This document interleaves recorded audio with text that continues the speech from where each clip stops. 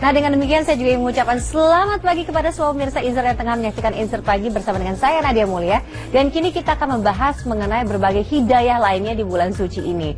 Berita selanjutnya datang dari Julia Perez. Nah Jupe mengatakan bahwa memang di bulan suci kali ini dia ingin bisa lebih khusyuk lagi beribadah setelah berbagai macam cobaan yang dia jalani di waktu-waktu sebelumnya. Kini dia bisa lebih mensyukuri dan meresapi tentang nilai daripada Ramadan itu. Nah berita selengkapnya pemirsa sesaat lagi pastikan Anda tidak ke mana-mana karena Insert Pagi akan kembali.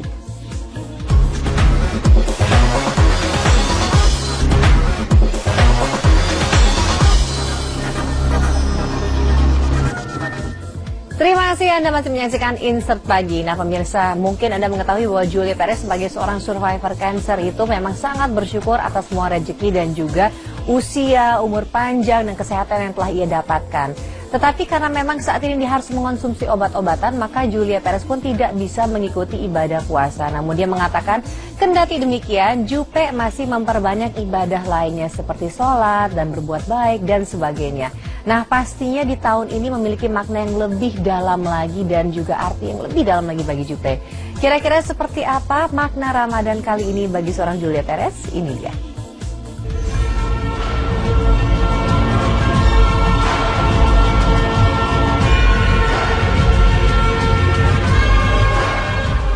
Masa-masa pemulihan sebagai seorang survivor cancer terus dijalani artis Julia Perez. Tak bisa disangkal pula hingga kini Jupe mengaku kondisi kesehatannya berkisar 60%, sehingga tak bisa alpa untuk mengkonsumsi obat-obatan medis. Imbasnya ia pun tak diperkenankan untuk menjalani ibadah saum yang menjadi kewajiban kaum muslim saat ini. Kalau misalnya puasa itu kan memang terdeteksi uh, secara kes untuk kesehatan sebenarnya bagus buat kali-kalian yang misalnya lagi lagi ada mengalami gula atau apa penyakit apa pun kalau puasa tuh sebenarnya bagus ya. Tapi karena kondisi saya sekarang 60% makanya saya lebih memilih untuk tidak puasa. Saya masih minum obat uh, beberapa beberapa obat-obatan dan juga memang tahun ini tahun di mana yang saya mau mengembalikan uh, apa namanya kesehatan saya gitu loh. Oleh karena itu saya nggak ambil job lain-lain uh, saya cuma ambil cocopi aja karena saya mau mengembalikan kesehatan saya dulu kepercayaan dirian saya setelah itu setelah nanti saya udah merasa sehat baru saya ambil job kanan kiri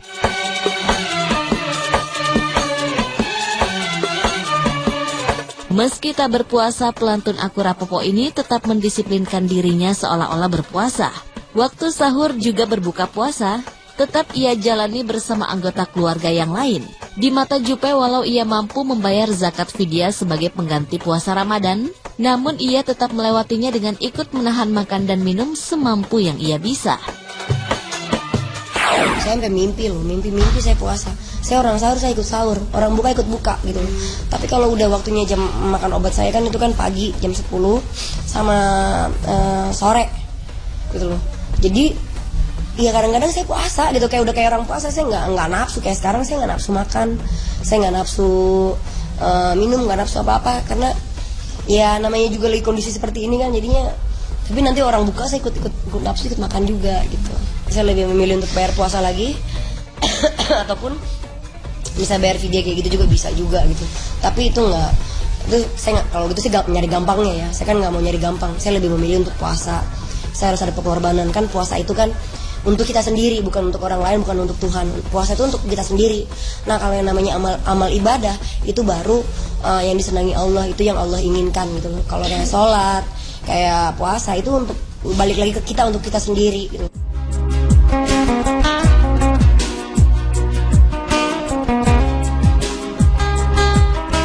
Sulit dilupakan mantan istri Gaston Castanyo ini saat-saat melewati pengobatan kanker tahun lalu benar-benar membuatnya terpuruk. Disimpul itu ia juga merasa kesempatan hidupnya sempat menipis. Mengingat perjalanan hidup ke belakang, Jupe begitu terharu dan ingin selalu bersyukur kepada Allah. Lantaran ini pula batinnya kini menuntut agar ia tak meninggalkan waktu sholat lima waktu sebagai pengingat bila hidupnya memang tak boleh ia sia-siakan lagi.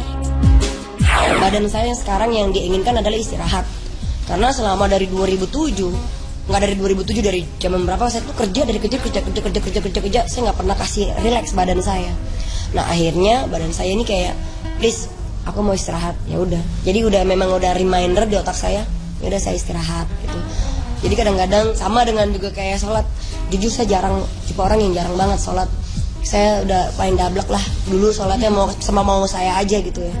Karena terkontaminasi dengan pergaulan saya di luar tapi ke sini sini nih mulai kayak roh saya tuh kayak merongrong. Hey ayo dong sholat. Jadi otomatis sekarang memang udah yang sholat sholat sholat sholat. Kayak kayak nggak sholat kayaknya kalau sholat tuh kayaknya wah wah ini kayaknya nih kayak ngerasa gimana sih tuh kayak hidup. Ini kan hidup kan ada, ada baterai baterainya kan. Kalau saya nggak sholat lima waktu kayaknya turun turun. Oh mati nih gue nih mati nih gitu. Itu itu yang saya alami sekarang. Kalau saya nggak sholat oh, mati mati nih gue nih. Kalau gue nggak sholat asar kalau gue nggak sholat ini itu yang saya udah alami. Berarti itu udah masuk ke roh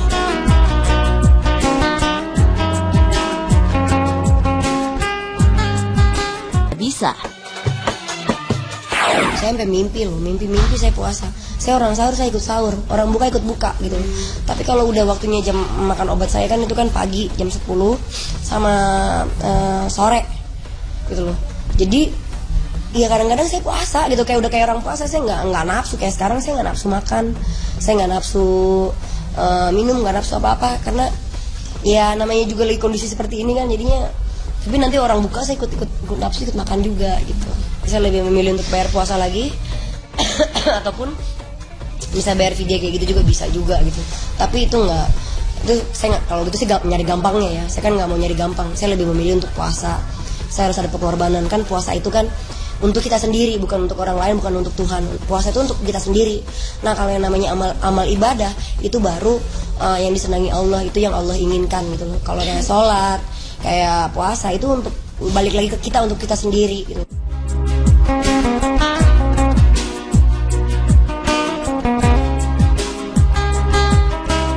Sulit dilupakan mantan istri Gaston Castagno ini saat-saat melewati pengobatan kanker tahun lalu benar-benar membuatnya terpuruk. Di simpul itu ia juga merasa kesempatan hidupnya sempat menipis. Mengingat perjalanan hidup ke belakang, Jupe begitu terharu dan ingin selalu bersyukur kepada Allah. Lantaran ini pula batinnya kini menuntut agar ia tak meninggalkan waktu sholat lima waktu sebagai pengingat bila hidupnya memang tak boleh ia sia-siakan lagi. badan saya sekarang yang diinginkan adalah istirahat. Karena selama dari 2007 nggak dari 2007 dari jam berapa saya tuh kerja dari kerja kerja kerja kerja kerja kerja kerja saya nggak pernah kasih relax badan saya. Nah akhirnya badan saya ini kayak please aku mau istirahat. Ya udah. Jadi udah memang udah reminder di otak saya ya udah saya istirahat gitu jadi kadang-kadang sama dengan juga kayak sholat. Jujur saya jarang tipe orang yang jarang banget sholat. Saya udah paling dablek lah. Dulu sholatnya mau sama mau saya aja gitu ya. Karena terkontaminasi dengan pergaulan saya di luar. Tapi ke sini sini nih mulai kayak roh saya tuh kayak merongrong. Hey ayo dong sholat. Jadi otomatis sekarang memang udah yang sholat sholat sholat sholat. Kayak kayak nggak sholat kayaknya kalau sholat tuh kayaknya wah wah ini kayaknya nih kayak ngerasa gimana sih tuh kayak hidup. Ini kan hidup kan ada, ada baterai baterainya kan kalau saya nggak sholat lima waktu kayaknya turun turun. Oh mati nih gue nih mati nih gitu. Itu itu yang saya alami sekarang. Kalau saya nggak sholat oh, mati mati nih gue nih kalau gue nggak sholat asar kalau gue nggak sholat ini. Itu yang saya udah alami. Berarti itu udah masuk ke roh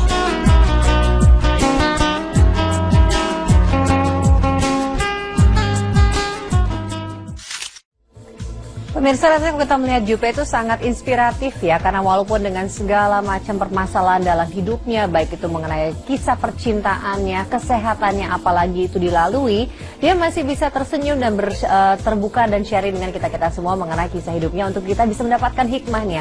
Nah, setuju sekali dengan Jupe bahwa walaupun mungkin ada yang berhalangan untuk bisa berpuasa tidak berarti berhalangan untuk melakukan ibadah yang lain ya. Nah, Jupe semoga kamu diberikan umur panjang sehingga bisa menikmati lagi bulan suci Ramadan di tahun-tahun berikutnya. Amin. Tapi pemirsa kalau ngomong mengenai waktu untuk sahur, berbuka puasa memang paling nikmat tuh di Indonesia ya. Segala macam makanan juga ada. Tapi nyatanya banyak sekali artis-artis yang menjalani puasa di luar negeri. Nah, di mana sajakah? Siapa saja mereka dan kira-kira pengalamannya seperti apa? Ada loh kabarnya yang harus puasa itu sampai dengan pukul 10 malam baru bisa buka. Nah, kiat-kiatnya seperti apa ya pemirsa? Jawaban selengkapnya sesaat lagi tentunya di Insert Lagi.